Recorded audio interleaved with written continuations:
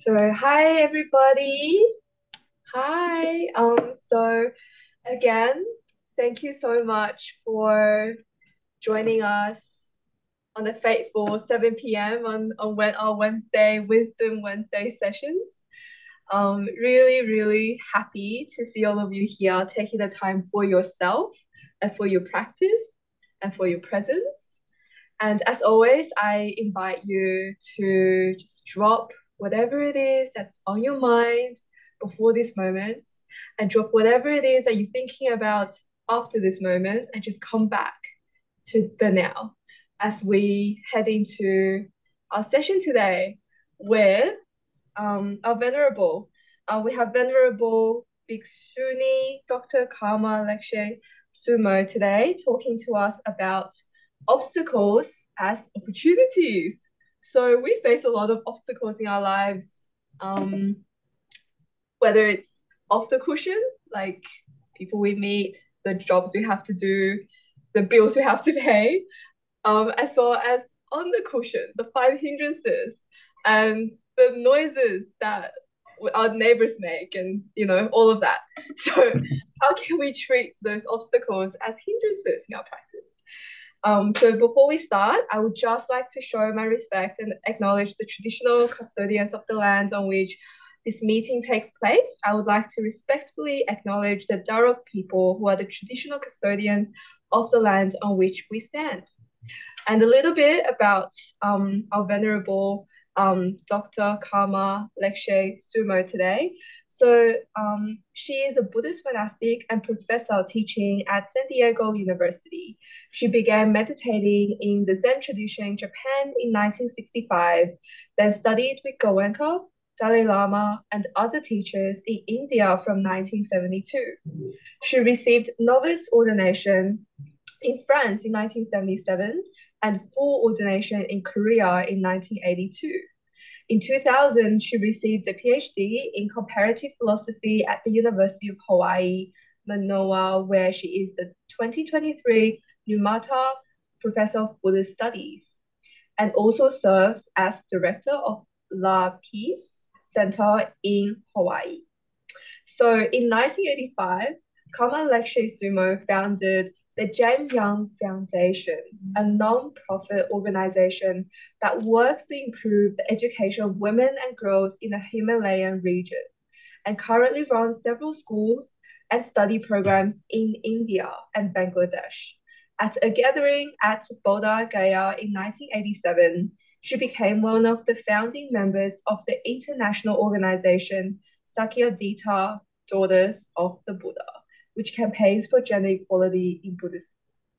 So today it will be an interactive session as always. Venerable will start with a short meditation and an introduction to the topic, and then I'll jump in to help facilitate a conversation. So if you have any questions um, or comments throughout the session or at the Q&A, please feel free to drop them in the chat. Um, if you don't feel comfortable sharing them with everyone, you could also send them quest the questions anonymously to me. We're very, very lucky to have Venerable join us today. I'm so excited to hear about the talk today. So without further ado, um, Venerable, over to you. Aloha, everyone. I'm speaking to you from the ancestral lands of the Hawaiian people who have preserved the land and the culture for many centuries here. Um, so I think we'll begin with a meditation, um, maybe 15, 20 minutes of silent sitting, and well, maybe a little bit of guided meditation. Um, and first, um, please sit comfortably so you can rest your body and your mind, dropping everything else. That's really good advice.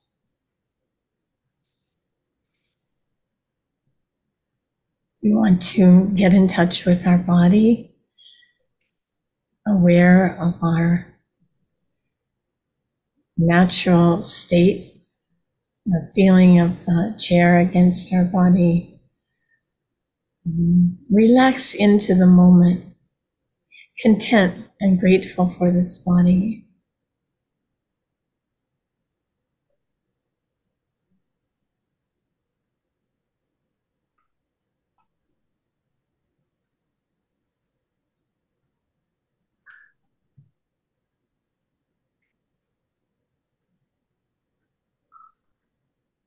And also relax our mind,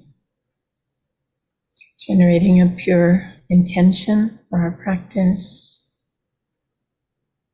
letting go of all worrisome thoughts.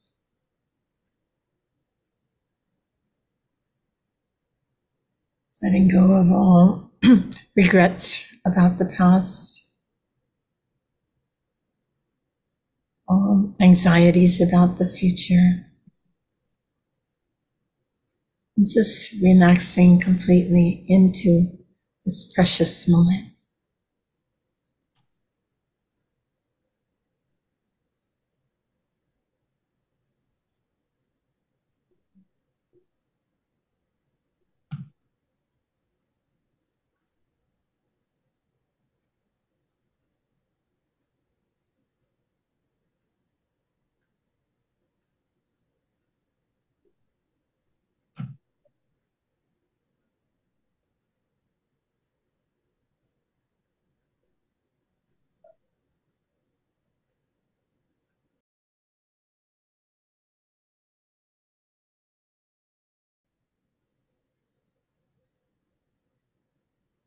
So let's, let's turn our attention to our breathing. The most basic, the most simple, the most relaxing practice of all.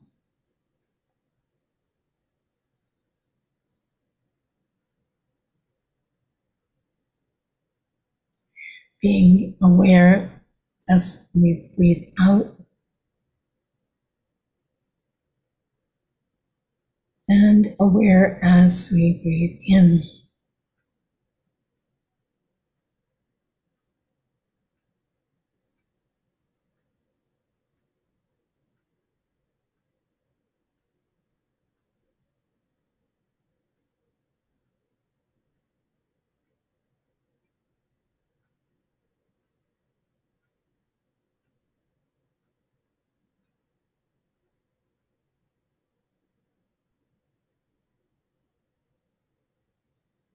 Aware of the beginning of the breath,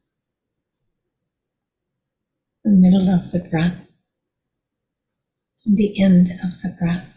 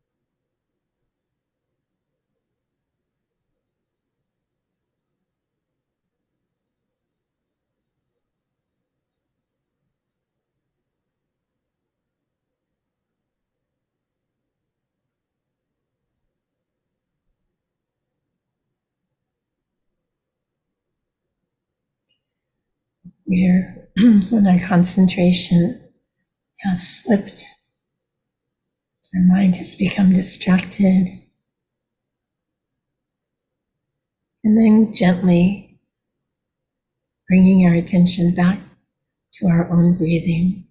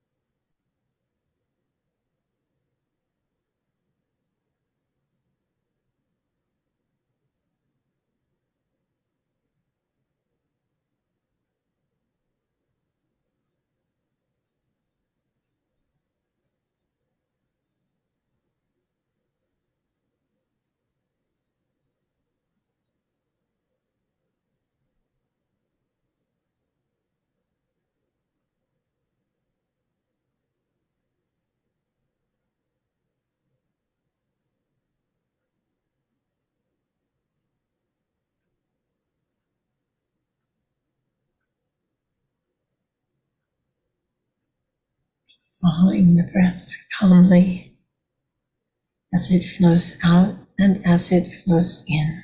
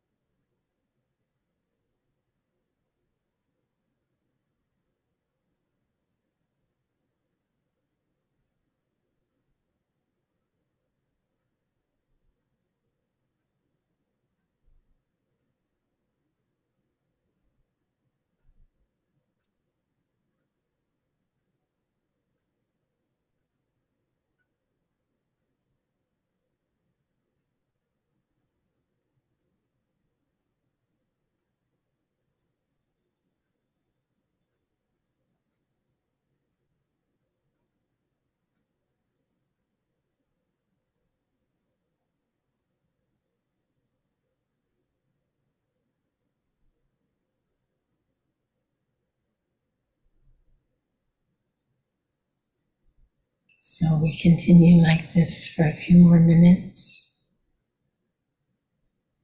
relaxing with the breath, enjoying the breath.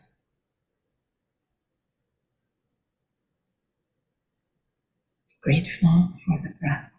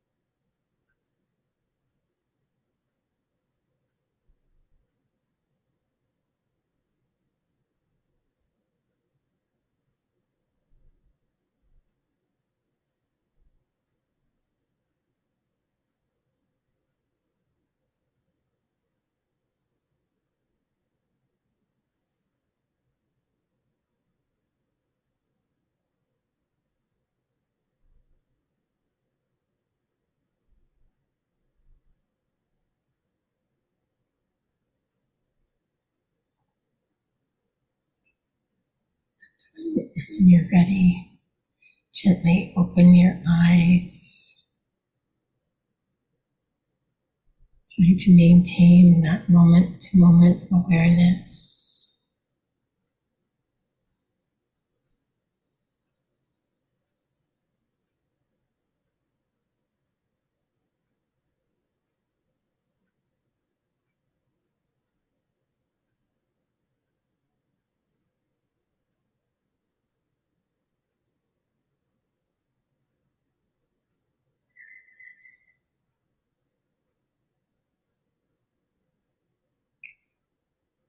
So, this evening, the topic is transforming obstacles into opportunities. And I do have a PowerPoint presentation. I think everyone likes pictures. We'll start with a few remarks to sort of set the stage for this topic. Mm, in the Buddha's teachings, it's very clear that you know the sufferings, all the problems that we experience, originate in the mind. Um, we can understand that they're not necessarily caused by external conditions, but in fact have their roots in the in the mind. How do we understand this? There's two different ways I think we can understand this. Well, the first is to understand that all actions proceed from the mind. So all of the actions that we create, body, speech, and mind, have their origins in our mind and mental factors and so when the mind is pure, the actions will be wholesome. When the mind is full of delusions, then our actions are likely to be unwholesome. So understanding this, we want to help to uh, purify the mind of mental defilements and according to the Buddha's teachings, this will help to relieve all our frustrations, stress, um, suffering. And in its place, instead, the wholesome thoughts will create a peaceful, content state of mind. So that's the first way to understand this um, idea that all of our suffering originates in the mind. Mm. The other way to understand it is that, yes, given that our stress, our frustration, um, our unhappiness comes from the mind, but the interesting thing is that we tend to elaborate on it. In this way, we sort of increase our own stress so we might be stressed out already, but then we have to put layers on top of it. So we have an incident, say we get a traffic ticket, and then we think, oh no, now I've got to deal with this. I'm going to be late. I might even lose my job. Then I might even get have to pay a huge ticket. And so in addition to the basic distress of getting a parking ticket, we just elaborate on it and make it more difficult than it needs to be. And we can recognize that we're doing this to ourselves. we're creating drama around a simple incident of distress. Of course, it could also be a health problem too.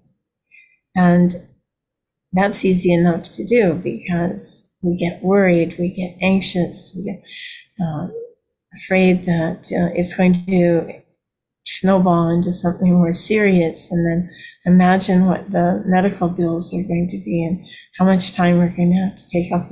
Before we know it, our mind is spinning out of control, making the situation far more complicated than it needs to be. This, the suffering of illness is bad enough already, but we have to add more stress to it. And it's a kind of crazy habit. Uh, but I think the first stage is to recognize how we do this sometimes. Um, the minds of ordinary beings are filled with mental defilements. That's our, that's the human condition. At the moment, we have greed, hatred, ignorance, uh, and pride, jealousy, all of the other emotional afflictions. Um, this is where we begin. This is the, the start of our spiritual journey is recognizing that. And this is where the Buddha's teachings are so incredibly valuable They actually explain how we got in this mess in the first place and what we can do to get out of it. I mean, I think this is compounded these days by the situation in the world. Uh, the world's a mess, and what are we going to do about it? Mm-hmm. Well, the most important thing, I think, is to take care of our mind, how we respond to the horrible news that we are faced with every day. Um, of course, we could just party and forget about it all. That's one response. I think um, the musician, the Belgian Rwandan musician Stromae, does this very well in his um, songs. One says, "The world's a mess. Let's dance." right? Just forget about the whole thing.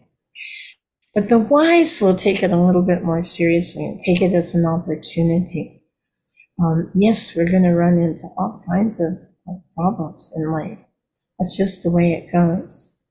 And as we were discussing in another venue, um, the idea that all of life is suffering is a misinterpretation of the Buddhist teachings. A lot of criticism has come, you know, all oh, the Buddhists are so negative, they're on such a, a downer.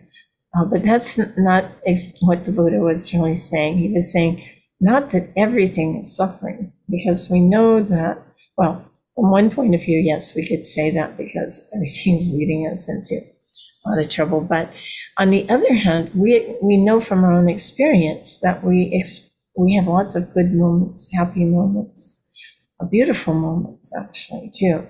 So if we believe that all of life is pure suffering, oh, we'd be so miserable. But what's the point of that?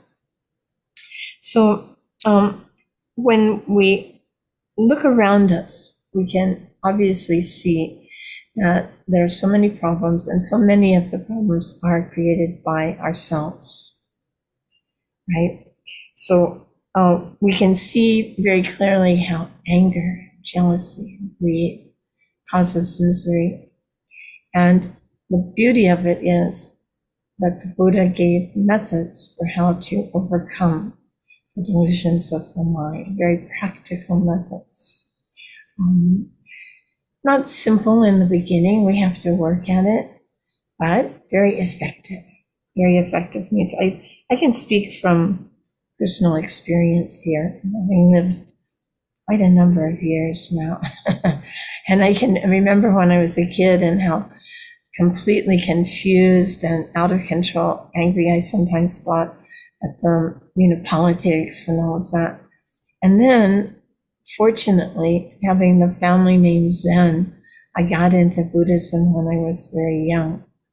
And trying to follow the teachings of the Buddha, of course, in those days, we didn't have well, many teachers in the United States. It was, well, I never met one.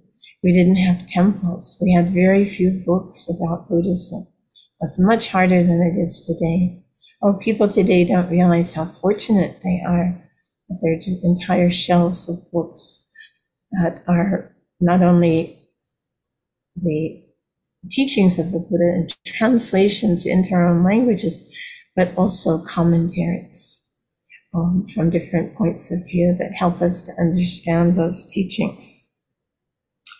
So they say that the world is a mess but what we can do under the circumstances, is not to ignore the sufferings of the world, but to take them as a starting point for turning inside, going inside, learning to control the mind, learning to tame the mind, learning to develop the mind so that we can not only achieve contentment ourselves, but we can also help to bring contentment, happiness, some relief from suffering for others in the world. So, of course, this takes time. Nothing comes easily, right? Just like a musician has to practice eight hours a day in, in addition to concerts uh, to perfect his or her art. Similarly, we also have to work hard if we expect to overcome uh, defilements of the mind, the emotional afflictions that we've spent quite some time building up. So getting free from them will also take some unwinding of the movie, right? But that's the really interesting thing. And um, someone said the wonderful thing about patience, unlike commodities that we buy, is that the more we use it, the more we have to offer. So we, the patience only gets better and better the more we practice unlike the ordinary material things of this world, which fall apart.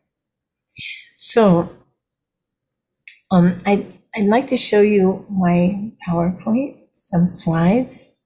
Let's see um, if we can get this working. Everybody likes pictures, I think.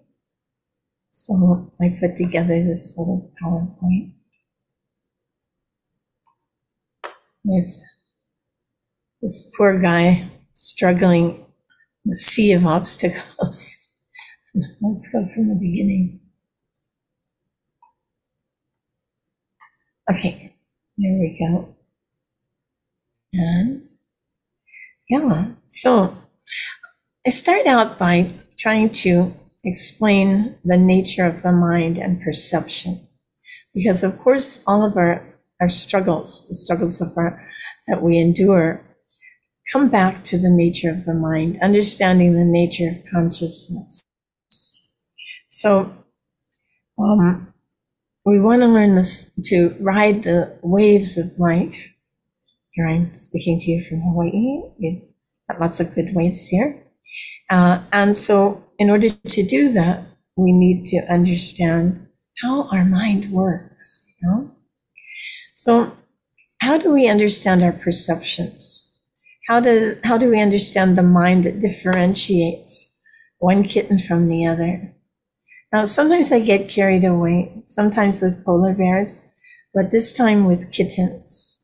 So please bear with me because I'm, I'm trying to um, understand the nature of perception, how we view the world, how we view our own mind, how we're going to understand the obstacles that come our way, and how we're going to try to overcome them or transform them.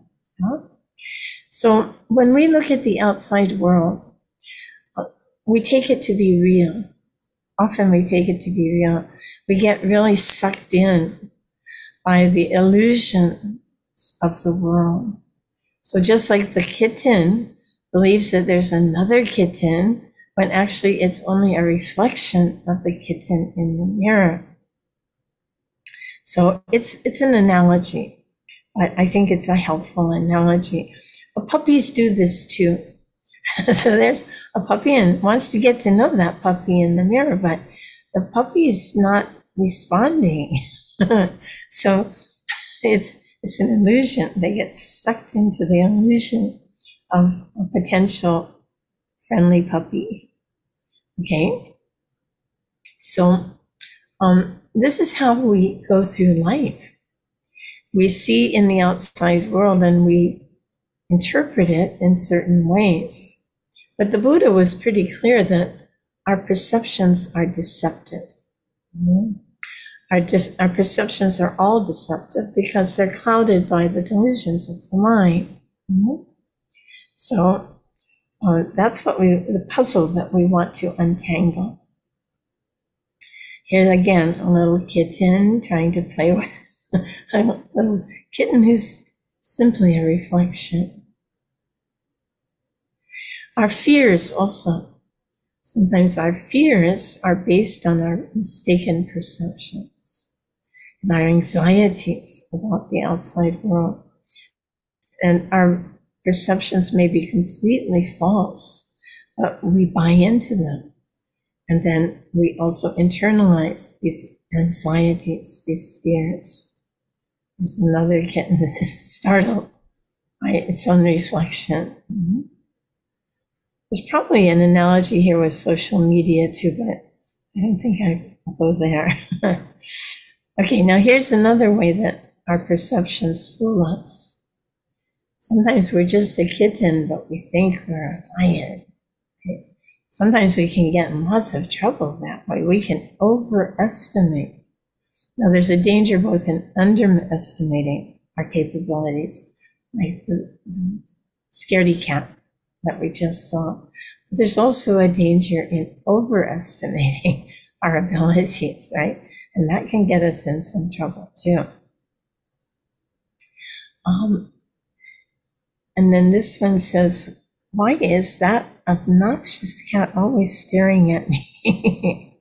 so there we get into the social media thing about how others perceive us.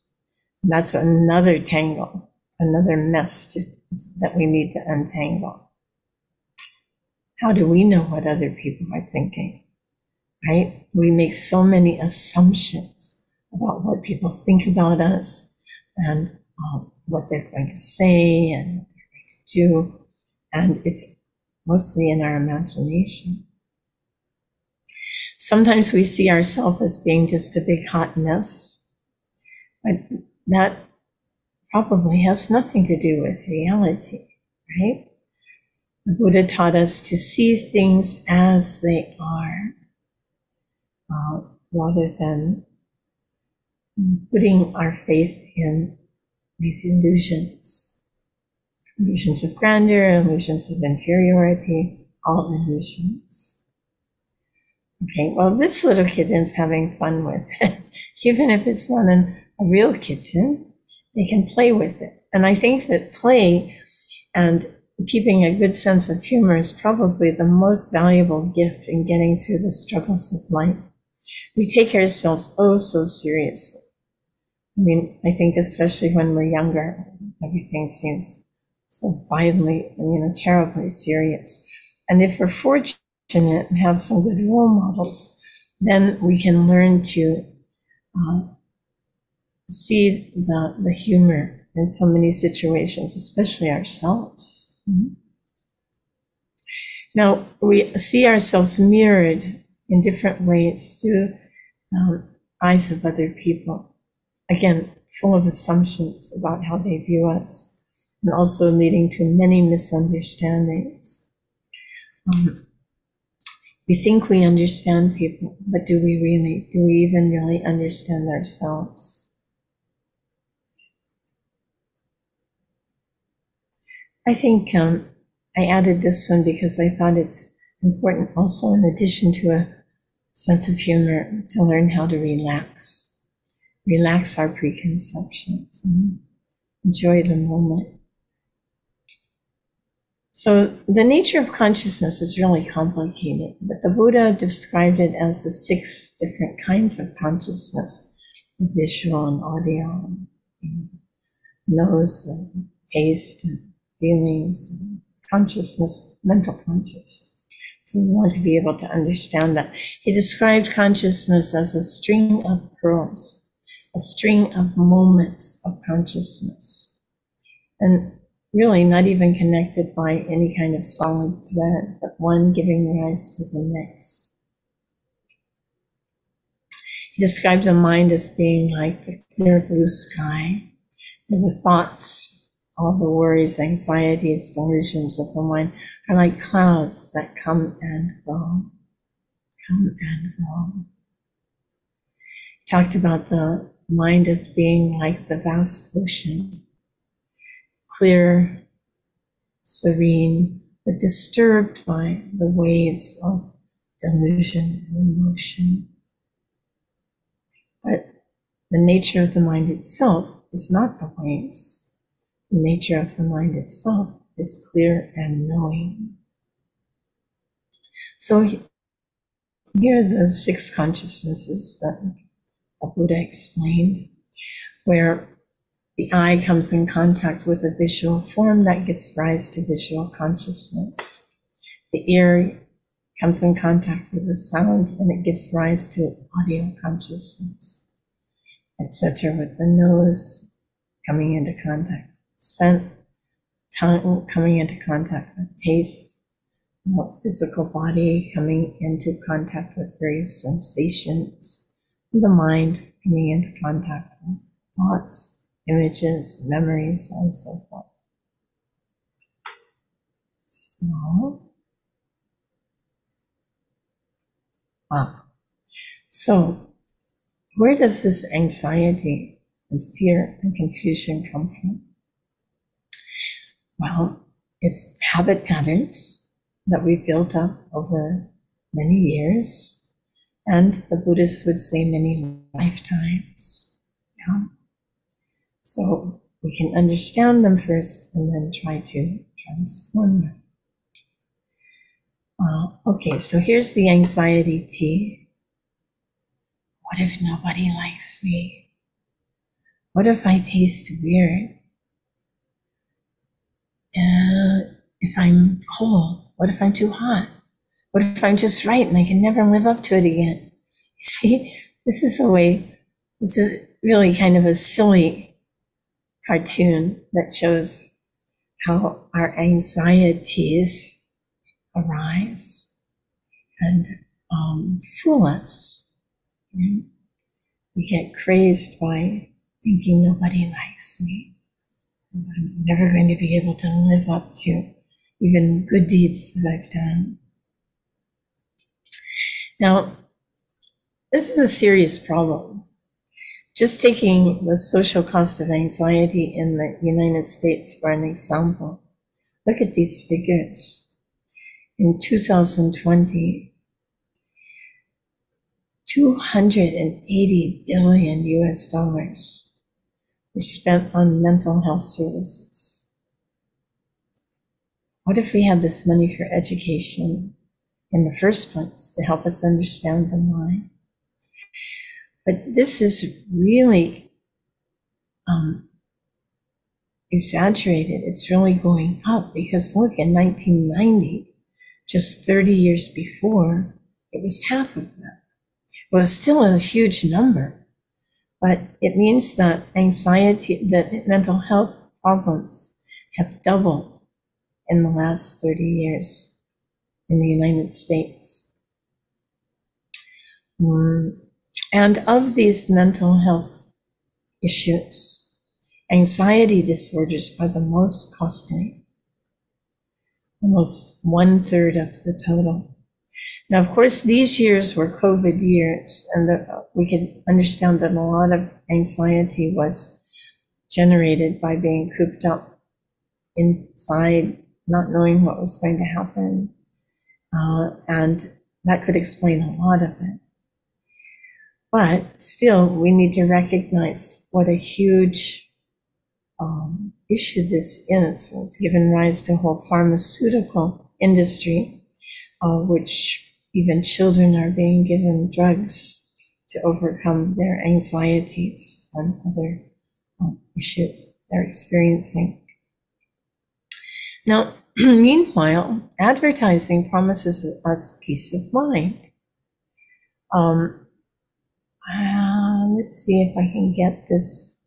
I don't want that to go away, but anyway, so advertising is presenting material objects as the solution to all our problems, right? If only we had a car that looked like that, everything would be right with the world. yeah, and you're even going to get four years of service care along with your car. I took this um, image from a billboard in Delhi airport in India.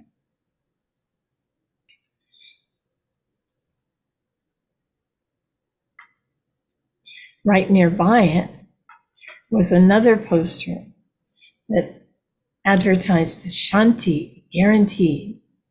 So if you're a successful business person, the billboard implies, you'll always have peace of mind. But we know from statistics that that's not necessarily the way it works. But this is the bill of goods that we're being sold, is that happiness comes from material objects. So, and this is trying to sell us a pension plan, of course. right. So, as we learn to understand the more the mind better, we understand different aspects of it. Um, to try to see things objectively, that the obstacles we face are not necessarily overwhelming. If we look at them objectively, okay, so we got sick. So that's um, exactly as the Buddha taught. We're all going to get sick. We're all going to get old. We're all going to die. No surprises here. So, if we can look at things objectively with equanimity, uh, carefully observing, feeling, and sensing, um, we can learn more about the nature of our own mind and how to tame it. Now, there are many different practices that the Buddha taught. Um, awakening to the moment, as we did with our meditation, mindfulness of breathing that we began with. Learning to calm the mind, that would be shamatha practice, where we learn to focus single pointedly, calmly on the object.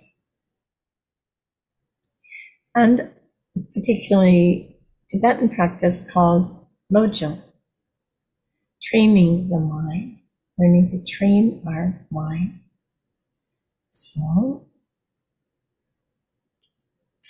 you know, we have the same potential that Buddha Shakyamuni had. Uh, one of my teachers used to say the only difference between us and the Buddha is that we're lazy. We're lazy. We have the same potential for awakening that the Buddha had, but we just haven't put in the effort to train the mind, to tame the mind. So, um, we have practices such as the divine abidings, the four divine abidings, learning to cultivate compassion, learning to cultivate loving kindness, learning to cultivate sympathetic joy, and equanimity. This is how we can face the obstacles that come our way when people are unkind to us, when people ruffle our feathers, when the ups and downs of life just seem like a, an assault to try to maintain equanimity. So what do these terms mean? I'm sure all of you have encountered them before, but just as a little review here, compassion is the wish that all beings be free from suffering. So now we look at the paper and we see what's going on in Ukraine and in Israel and so many countries around the world. How do how do can we deal with that? Well, we can generate the wish May all beings be free from suffering. We can create an island of compassion in our own hearts, right? And that can help us to cope with all of the, the outrage that we feel when we see these terrible events swirling around us. Loving kindness, defined as may all beings be happy. So we try to transform our feelings of despair and, and pain for the suffering of others into this compassionate wish, cultivating loving kindness and generating the wish that all beings be happy. This works really well when people are unkind to us. What do we do with them? It could be our coworkers, it could be our fellow students, it could be some random stranger on the bus who must be having a bad day and you know unleashes some words on us and immediately instead of getting upset outraged defensive. We can generate the thought ah may all beings be happy. We don't have to say a thing. It comes from our heart. And it generates out to that unhappy person. And it's a way of transforming that obstacle, that particular obstacle, into an opportunity for practice. Now, sympathetic joy, there's a few different translations for that, but I like sympathetic joy, is the uh, practice of rejoicing in the qualities and good fortunes of others. Now, this obviously is an excellent antidote for jealousy when we find out that someone else got the scholarship that we applied for, um, someone else got into the class that we wanted to take, someone else got the, the job we were hoping for. Uh, we can, it's normal that we might feel disappointed. But instead of generating jealousy toward that person, we can generate a sense of rejoicing in their good fortune. Isn't it wonderful? She got that scholarship. Isn't it great? He got that job. You know, we can transform our unhappy emotions into their opposites, actually. And there are many ways to do this. I find the four divine abidings to be very helpful and equanimity. Again, in the situation, say in the family, there's some dispute. What family is free from disputes?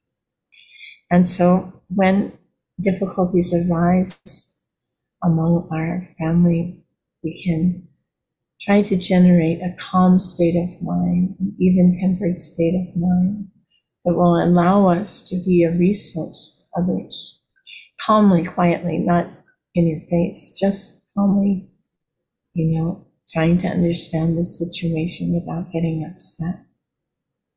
So that's a way of transforming what could become a disaster. If we allow our emotions to rage out of control, uh, we can create some really sticky situations for ourselves and actually make things much worse than they need to be. So these four divine ab- abidings are very, very practical, very helpful. And that's how the Buddha himself became a Buddha.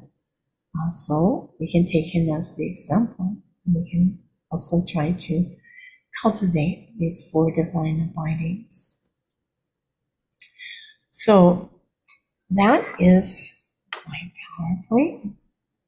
And um, now we could open our discussion up to any questions anyone might have.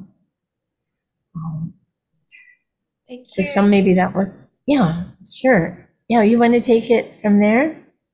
Sure, Venerable, it might be easier because I can just read out the questions and oh, you don't have to do that. um, okay, great. Thank you so much. Um, so everyone, if you have any questions about this talk, please feel free to drop them in the chat. And for those in person, we have paper and pens there. So, or you could just come and um, talk as well, um, ask your questions. So yes, if you have any questions, please feel free to drop them in the chat. Um, Venerable, we already have a question. Um, and this person would like to ask, what is the right way to view this world? As the Buddha said, this life is suffering. How do lay Buddhists view this so we are not drawn by negativity about this suffering thing? okay, so you mean how do we cope with suffering? Yeah, I guess what they try yeah. to say is, you know, how do we deal with this suffering thing? Like, yeah. okay, that's a good one. Um, nice in, in general. but, you know, first of all, I would have to say that the suffering of monastics is not different from the sufferings of lay people. Sometimes people look at monastics and think that we've got it all wrapped up. But, you know, just shaving your head and putting on robes does not solve all the problems of the mind. That's just a, a kind of beginning, right? So, um, the nature of suffering is basically the same for all sentient beings, even the animals. I mean, sometimes I watch the animals. I live out in the country and I watch the birds and the bees and all the insects and my puppy and my kitty. And I see, you know, that they are also like bored to tears and they're struggling to get enough to eat and they're, you know, it's really interesting to watch. It's not just human beings. But so all of these different tools, looking uh, to understand the nature of the mind. Where does suffering arise from? And that was um, the issue with trying to identify where suffering comes from. Um, the delusions of the mind, greed, hatred, ignorance, pride, jealousy. Um, these are the teachings the Buddha gave but realizing them on a deeper level means that we actually have to meditate on them. So some people might say, well, why in the world would we want to meditate on suffering? And I mean, we're already miserable enough as it is. Why would we want to meditate on suffering? Well, I think there are a number of good reasons. The first is to get some actual realization of the nature of, of our own suffering um, because sometimes we're not in touch with it. We live we live our lives just on the surface, um, trying to fill our days with nonsense, you know, TikTok or whatever it's, you know, just to fill the time. People even say time fillers, right? And heaven knows there are enough of those in the world today with uh, all of the social, with all of the digital media uh, I, I don't know, you folks have Netflix over there in Australia? You know, it, there's a, you can downstream videos, you know, as many as you like. You can binge watch Netflix videos. Uh, there are very few that are really worth the time of day, but people get addicted, you know, like to the Korean soaps and all of this, you know. And it turns out that this big time waste is just a way to escape from the problems of the world and also our own misery, right? So it doesn't solve anything. It's just a timeout. It's actually a time waste. But sometimes we do escape into those kinds of behaviors. Oh, it could be much worse than Netflix too. I mean, drugs, alcohol, sex, all of it. You know, it can be an attempt to escape our own suffering and ignore it. But I feel the second thing in addition to learning to recognize our own suffering, um, is the, to be able to understand the suffering of others. See, because no matter what we're going through, if we look at the sufferings in the rest of the world, it's unimaginable. How can we even relate to it?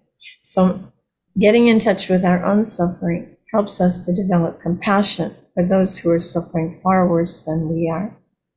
I mean, killing a thousand children, how can how can it be? You know, I mean, aren't we supposed to do better than that in the 21st century? And just all of this, it's almost unimaginable. But when we recognize, we don't want to hide our heads in the sand and pretend that suffering doesn't exist. After all, the truth of dukkha, or suffering, was the Buddha's first noble truth. That's the key to the whole puzzle. If we don't recognize the fact of suffering, the truth of suffering, how can we ever overcome it? How can we ever become free from suffering? So these are my initial thoughts on this question. Um, I hope it might be helpful, or maybe there'll be a follow up. yeah, a big topic. right? Like it's the whole of Buddha's teaching, which is what do we do about suffering? so if you have any other if you have follow-up questions, please feel free to ask it. Um, in the meantime, we also have other questions. So we have a question that asks, can Venerable please share how to practice metta as a meditation if there is time? Can you I'm sorry, could you repeat the question? Of course. Can Venerable please share how to practice metta as a meditation, time permitting? Okay. Yes. Okay. Um, there are many ways to practice, many methods for learning how to generate metta. Um, when we were just describing it, um, we were talking about metta as the wish for all beings to be happy, right? So if we look at um, sentient beings, we can visualize them with our mother, our father, our sister, our brother, our friends, and we can try to imagine them happily, being happy, right? Um, free from suffering. Of course, these are a pair. Compassion and, and loving kindness are a pair. So imagining them free from suffering is the first step. And then imagining them as being happy, uh, which is not just haha happy, but content. Contentment is the greatest wealth, the Buddha said. So uh, one method is from the Tibetan tradition is called friend, enemy, stranger. If we had more time, we could practice it. Maybe we could. Um, well, let's let's take a few minutes uh, to imagine three people in front of us. To the left is someone that we love very much. Not a romantic partner, but someone that we really love with our whole heart, without any um, confusion.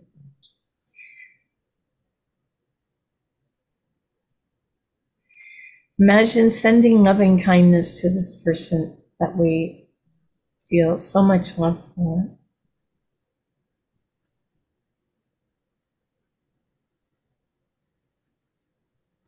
Beginning from our heart. And if we like, we can imagine it in the form of a gentle golden light reaching out to our loved one and surrounding them with loving kindness.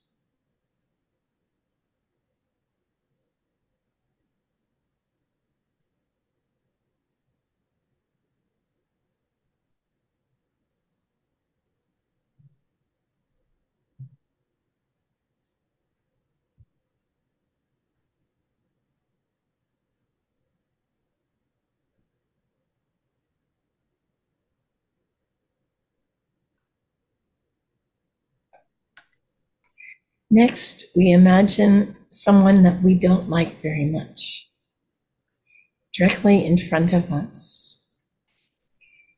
Now, this is a, a challenge.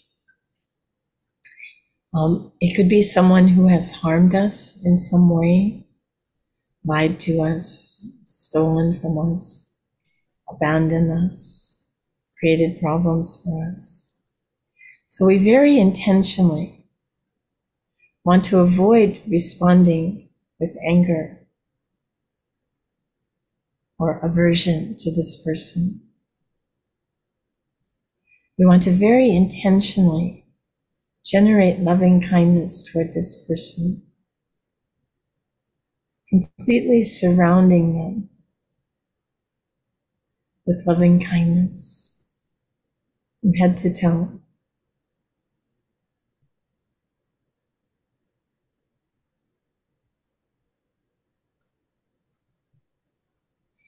If our ill will or um, aversion pops up strongly again, start again from the heart, generating loving kindness toward that person who has harmed us.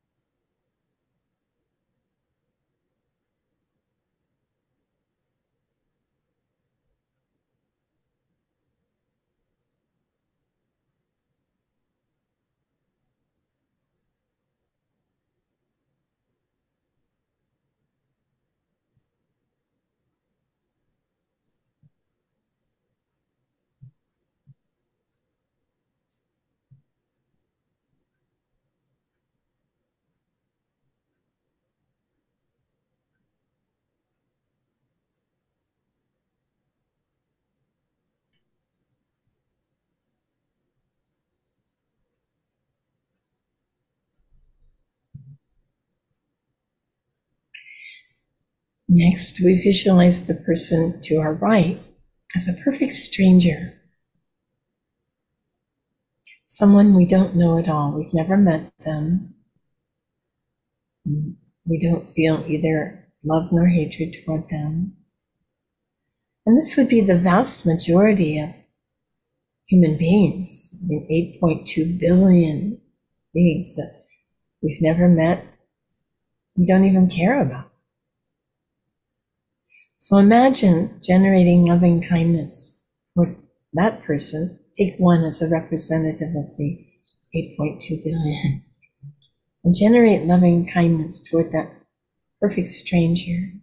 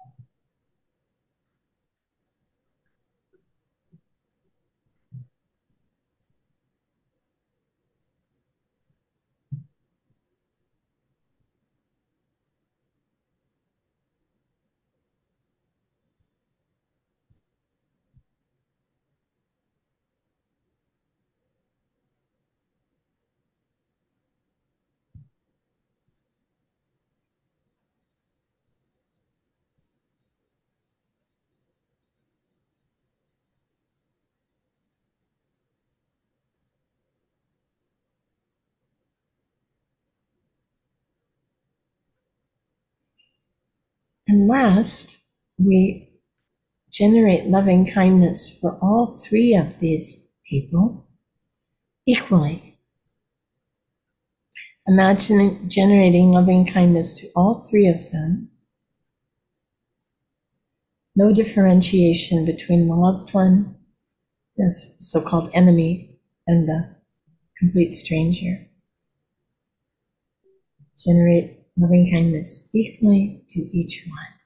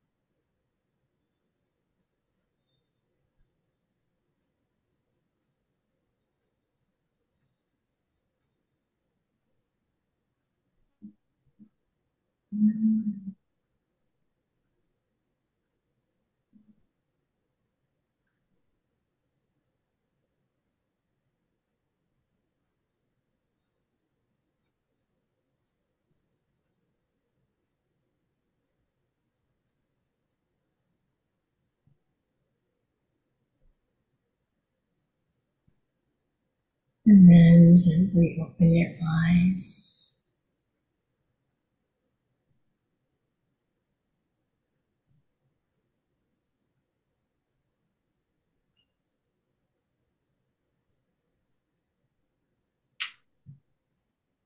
So, this meditation, generating loving kindness, helps to overcome all aversion and hatred toward anyone. And the benefit is that it opens up so much space in our own heart. We fill our own hearts with loving kindness, and then we can direct it wherever we want to. Um, it's an incredible practice. And this, mind you, is just one way to cultivate loving kindness. but it's an important one because, um, you know, if we want to become a Buddha, we need to learn to value all living beings equally and not just human beings, right? Even the cockroaches and the banana slugs and all of them, sentient beings. But starting with people, even that seems difficult enough, but it's essential uh, to equalize sentient beings in order to generate the thought of awakening. So it has many virtues, practice. And thanks to whoever asked the question. Thank you, Venerable. Are there some more questions? Yeah, okay, good. There's plenty of questions. Um, just as a follow up to the metta practice, one question um, I hear people ask a lot, including myself sometimes, is sometimes metta is too subtle to feel it as a feeling. Yeah. So either we have a really stressful day or we just feel a lot of negative or anger towards someone that it's very hard to connect with the feeling of metta. Um, and oftentimes it may feel like you don't want to bypass whatever feelings are rising and repress it with generating metta or compassion and intellectualizing it. So, what advice do you have for people that may experience this? Well, my advice would be practice, practice, practice. you know, in the the uh, in the taxi, the passenger asked the driver in New York City, "How do you get to Carnegie Hall?" And the driver said, "Practice, practice, practice." so, um, we can't expect to master this all at once. Just like you can't just go on stage and pick up a violin and expect to give a concert. It's not possible.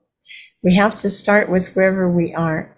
And everyone starts from a different place. Some people have had a really rough childhood.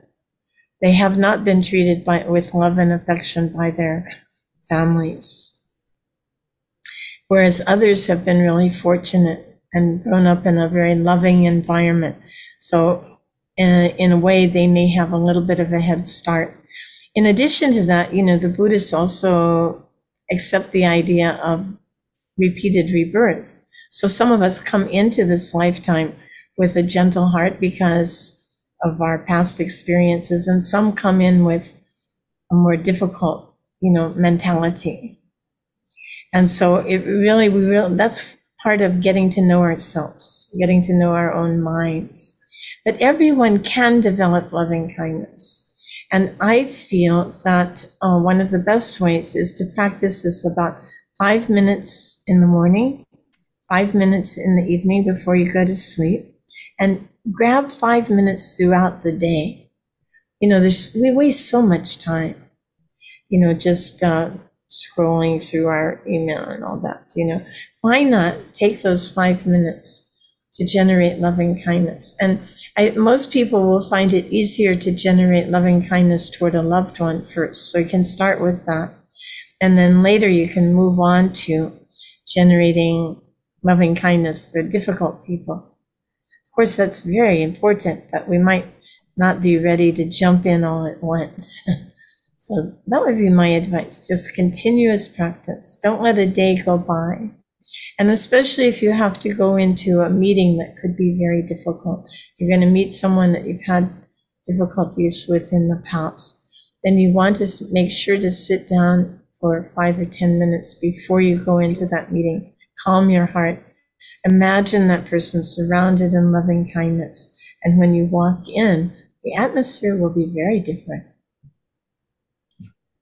Check it out. what is magic? It's not uh, it's not Harry Potter magic, but Buddhist magic. That's the thing. If you walk in the room full of tension, it's uh, not generally a good place to begin.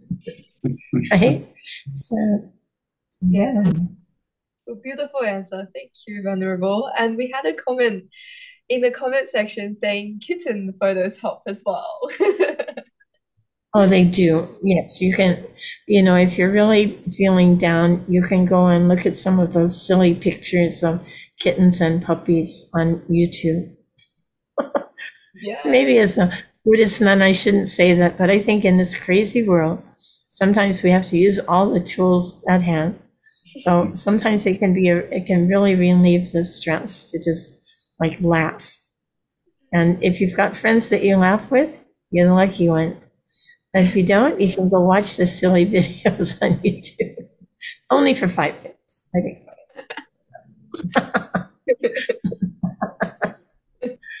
Daily uh, kitten meditation. yes, there we go. You can also generate loving kindness for kittens, you know, and all the suffering of the animals. You know, we just had these terrible wildfires on Maui, and so many animals fried to death. It was so sad. So we've all been generating metta for the animals, and not just the, I mean, domestic animals, but also all of the bugs and, you know, the ones, the sentient beings that we often overlook or even despise. So we've been all practicing, trying to practice that recently. That's amazing. Yeah. Thank you. and um, on this topic as well, potentially related, um, does Venerable have some advice on the conflicts in the Middle East? One feels a bit helpless. Mm-hmm. Right, right. Well, it's a really, really difficult situation. It's uh, very complicated. There's a history to every political problem. You know, if we look at, we say, well, why are these people so angry? But then if we educate ourselves and look at the, the history of the region and the interrelationships of, um, you know, colonialism and um, uh, economic deprivation and, you know, people getting their land stolen and people getting, you know, uh, roasted in ovens. And we look at the whole picture, not just one side. And of course, our media uh, in the United States is controlled by six billionaires. Can we really trust that information? Or is there a small chance that it might be biased in some way? You know, so we really have to do our homework to understand the background of some of these situations and not jump to conclusions. I think for the Buddhists, the key is that we want to generate loving kindness and compassion for everyone equally. Because no matter what our nationality may be, no matter what our ethnicity may be or our gender or so forth, you know, everyone suffers and everyone it can be the recipient of our loving kindness. Um, the children are have no, I mean, no blame. No, they're not at fault, and yet they're suffering so much. So, this meditation on loving kindness, I tell you, it's so healing. It's it's really so. That would be the second piece. So, educate ourselves so that we don't jump to conclusions about the world situation. We learn more and more. I mean, mind you, I can only take about 15 minutes a day because it's just so heartbreaking.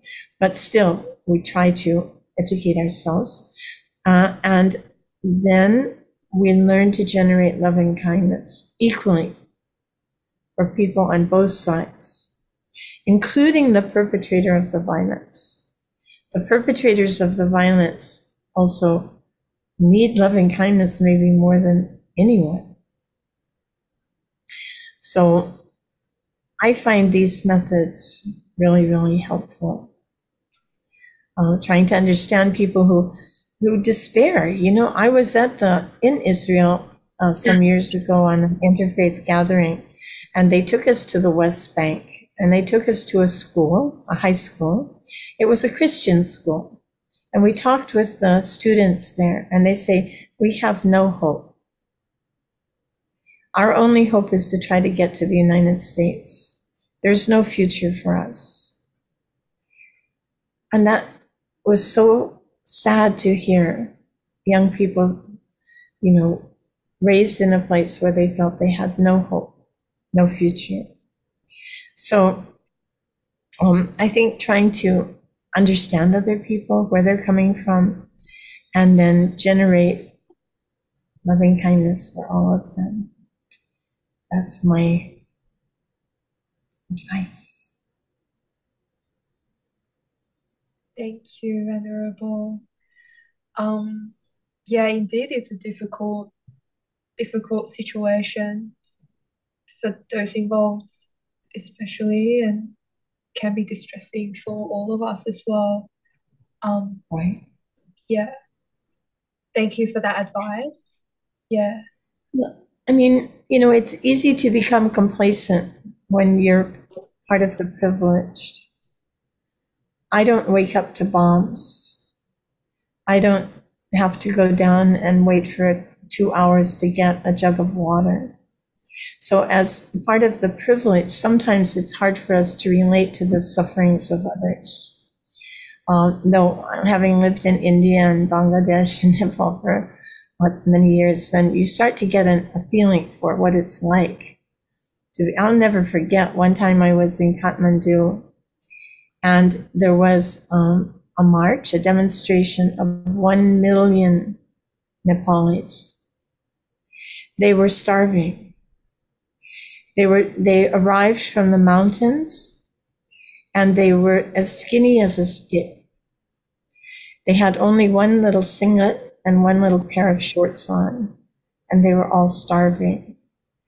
While their government was stealing all of the foreign aid that's offered to Nepal. The uh, world, uh, the um, World Bank project to build a dam in Pokhara, only three percent of the money of the millions and millions of dollars got to the project, and the local people are starving to death. Well, that demonstration was peaceful. Um, they had no weapons. They had nothing in their hands. They're just standing there, skinny as a state. And they were successful in changing their government. And now, and things improved a little bit. So, but I can never get that image out of my head as um, a picture of the, the sufferings that people are going through. So, not to make us depressed, mind you, but to soften our hearts and help us to think not only of our own happiness, but to try to do something to affect the happiness of others. You know, the people who are happiest in this world are the ones who are helping others. That's my experience. Yeah. So I really appreciate, like, you know, I've been in the hospital for two months and I see the, the nurses and the nurses' aides, and they always have a smile on their face. Their day is continuously helping other people, and it's difficult work, but I, I really admire them. Thank you. And um, I think on that topic as well, um, is there is there a balance that what's your advice on striking a balance um, or perhaps between staying in touch with the suffering of the world through compassion but balancing it with equanimity um, so that we're not dragged like to hopelessness without equanimity but also in touch with our own suffering and the suffering of the world through that soft heart right Right. Well, it is important to strike a balance. And I don't mean that we should, I mean, not everyone is ready to meditate extensively on suffering, mm. but we should introduce the topic. I mean, since it was the starting point for the Buddha's own realization, you know, that was his great First Noble Truth. We really should give it, pay it some attention. But depending on our own mental state, as I say, we're each different, we're each individuals. And for some, um, maybe even one minute a day is enough on suffering, and then try some other, you know, happier topics. but um, one thing also we can do in addition to meditation is go out and help people. The needs, there's so many needs in the world. And if rather than sit and worry about them and, and bemoan the world situation, let's go out and do something about it. How about that? You know, a lot of my friends went over to Maui and they, like Tzu Chi Foundation had, was donating between eight and twelve hundred dollars to each person who'd lost their home. And a lot of my friends would go over, they would pay their own airfare and go over to Maui Lahaina on Sunday, give up their holiday, and go over and get to know the people, listen to their stories, and then give them a card that they could use at the market for food and necessities. And all of my friends came back so just glowing with happiness. It was the most difficult thing most of them had ever done to listen to the stories. And yet, it filled their hearts with happiness to be able to help. So that's one thing we could try. Yeah, soup kitchen and so forth. Yeah, good.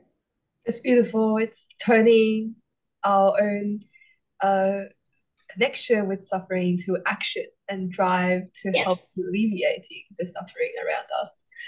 Um, and on that topic, Venerable, we know that you have a charity that we talked about in the beginning, which is India and Bangladesh.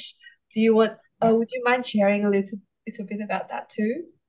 Oh, of course, I'd be happy to. Um, Jamyang Foundation is an education project. You know, um, 30 years ago, women in Buddhist countries didn't get much education, especially Buddhist education. I mean, in some some Buddhist countries, women are systematically locked out of the monasteries. So they don't have a chance to, to learn about Buddhism. And so we decided, well, what's wrong with this picture? So we decided to start some education projects. And now we have 12 monasteries in India, and we've begun quite a few more that many are now acting independently. They're self-sufficient. And in Bangladesh also, we started a number of schools, and uh, there three out of four are still running uh, effectively. And it's just completely transforming the lives of these little girls who otherwise, you know, their parents can't read. And they live in the most, one of the most remote areas of the world um, as Buddhist uh, minorities up along the Bangladesh Burmese border.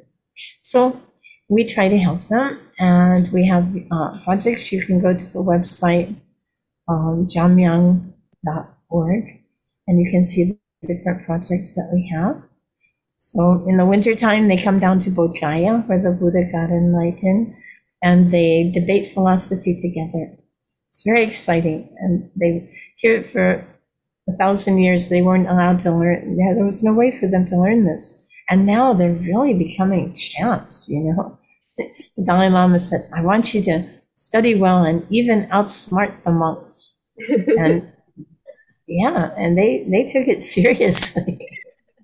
so um, I don't know if we can go to the website, but um, maybe yeah. we could try. Yeah. Oh, I guess you'd have to go to the internet first, wouldn't you? Yeah. Um, let's see. Well, I'll, shall I put it in the chat? Yeah, Zen's actually helped us to put in the chat already a link to Jamyang. Oh, good. yeah, Jamyang jamyang.org. Yeah, they, so you can read all about it. And if you'd like to help, we have a, a vigorous volunteer program. We have, you know, maybe 30 volunteers every year going up to these remote places where, I mean, gee, you know, the global warming is really, really doing a number in these areas. But the glaciers are melting, and without the glaciers, how can you grow food, you know? So life has become very difficult up in these areas. And, you know, here we just turn on a faucet and it comes out automatically. But up there, sometimes they have to carry for six kilometers to get their drinking water. So um, we, we try to, you know, help them. And it's quite amazing what they're doing. So it warms the heart to see how they can go from, well, not getting any education to becoming superstars in just a couple of decades. So, yeah, if anyone would like to help, I would be very grateful. Yeah, please, um, Zen's put a link uh, in the chat. So if you'd like to check out the project and help as a volunteer or donation, please feel free to do so.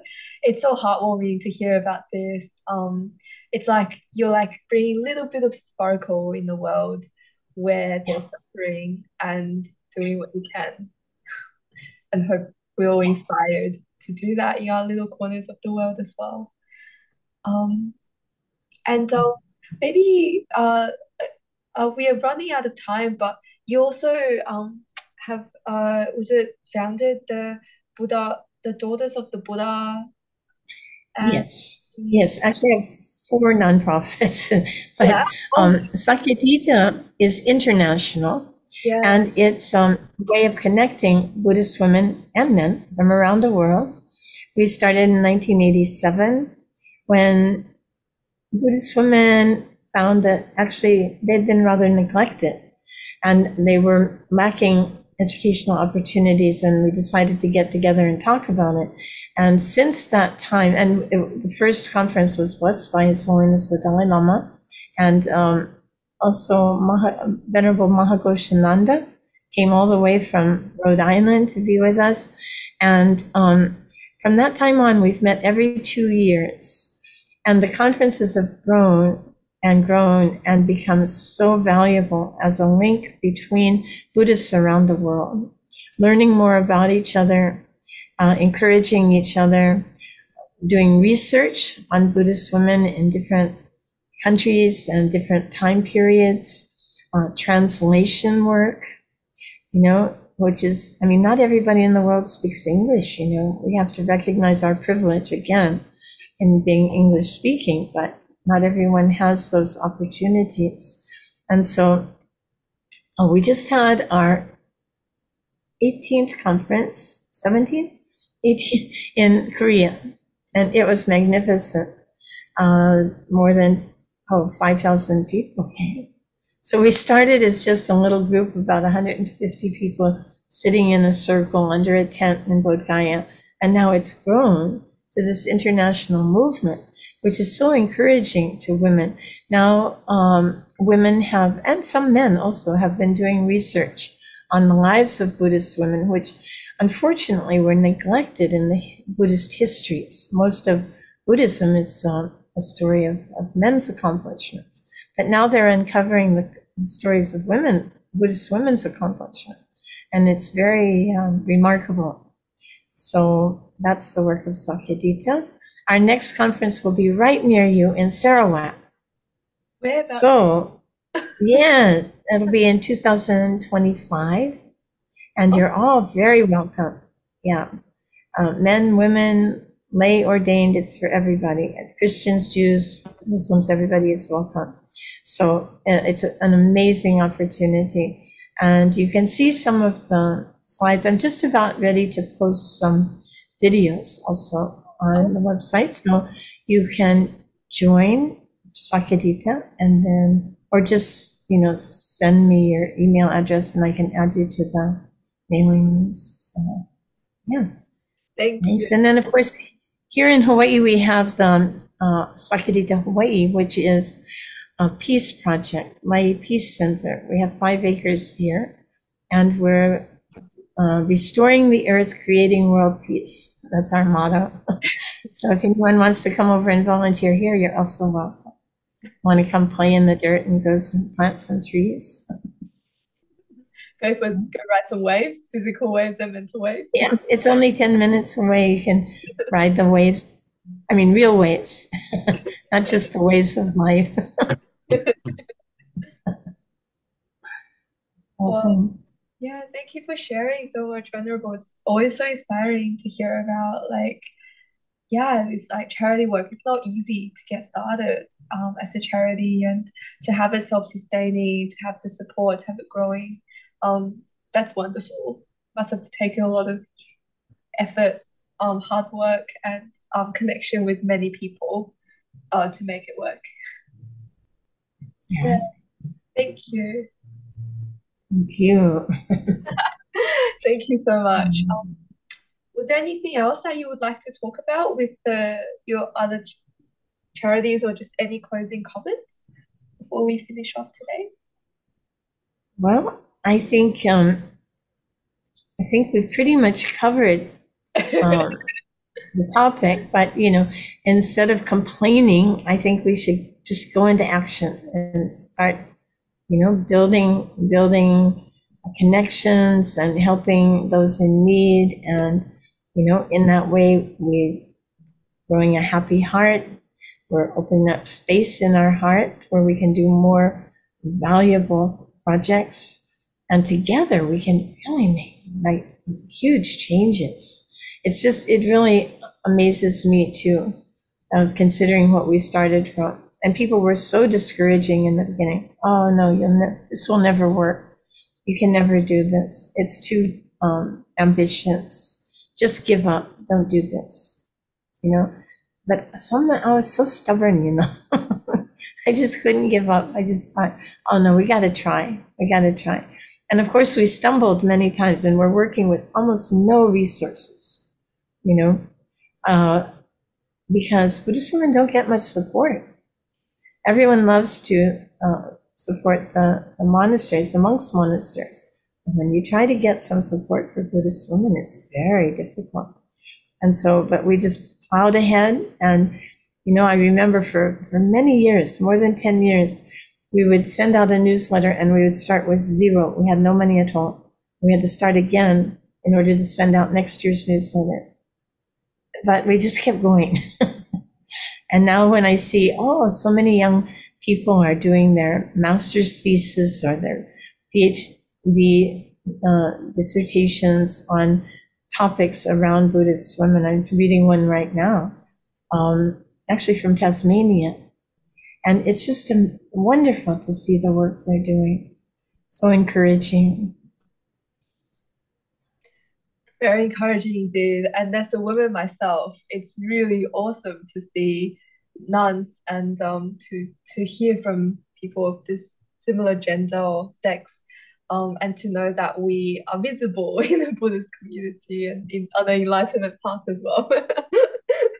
Well, sure. why should we waste half the human resources? Mm, If we can mobilize, you know, here, Buddhist women say there's maybe 600 million Buddhist women in the world. I used to say 300 million.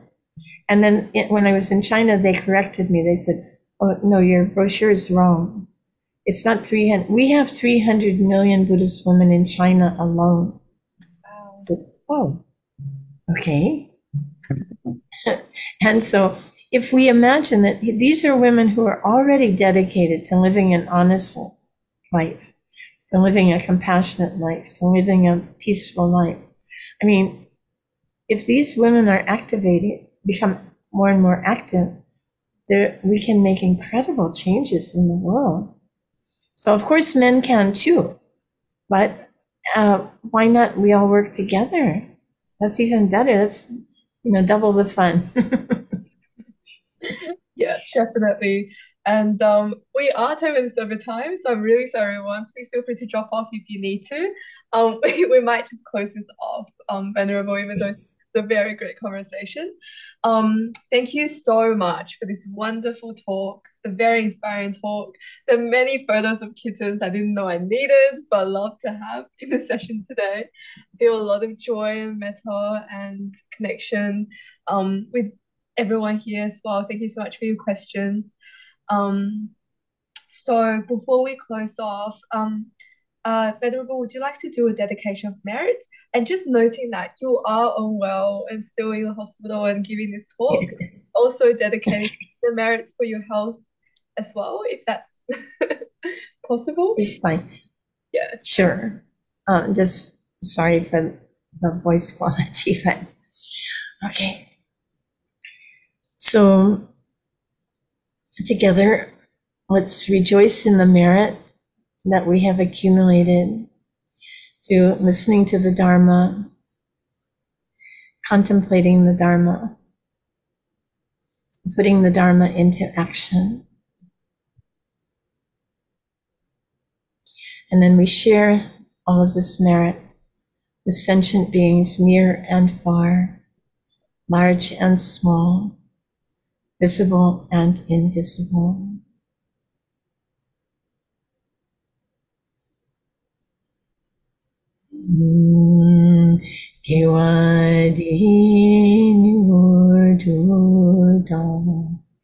Mama Sangye Rukyume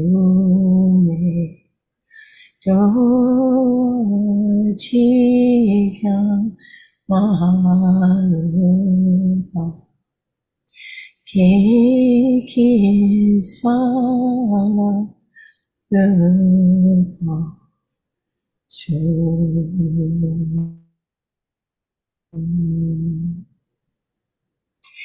virtue of the merit that we have accumulated, may we achieve the state of perfect awakening in order to liberate all sentient beings from suffering, leaving not one behind.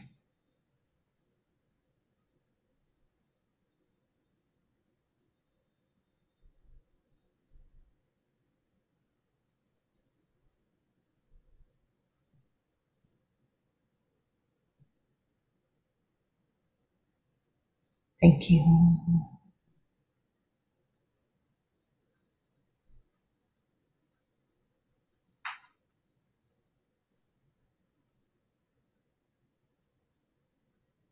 Thank you Mark, very much, Venerable. Thank you, everyone.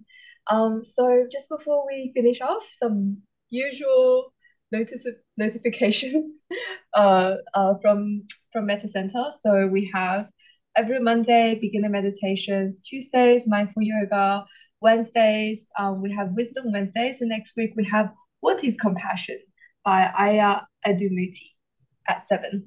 And um, this start, started day, we actually have a koan meditation from 9 a.m. to 4 p.m. So we'll be actually visiting a master, Zen master in the Blue Mountains. So if you're interested, please feel free to sign up or let us know. And then on Sunday, next Sunday, the 29th, we also have a temple tour to Chao Miao Zen Center as well. Um, and there we'll be meeting a master from Taiwan and uh, and also Sisters Sophia, who conducts some um, meditation Mondays as well. So if you're interested in that, please feel free to come along. It's always a lot of fun. They will have food for us as well, so that's great. But you also can bring a food offering if you'd like.